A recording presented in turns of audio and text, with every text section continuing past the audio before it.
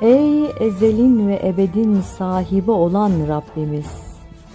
Ey kalbin ve ruhun sahibi olan Allah'ım! Sustuklarımı duyuyor, görmediklerimi görüyor oluşun tek dayanağım. Yürüyeceğim yolu güzelleştir.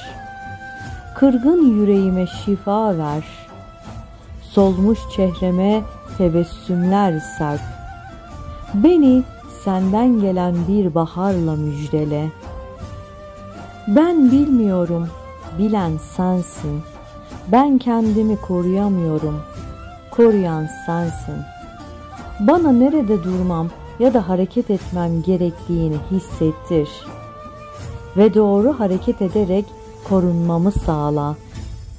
İçimden bana seslenen sesini her an duymaya niyet ediyorum Allah'ım.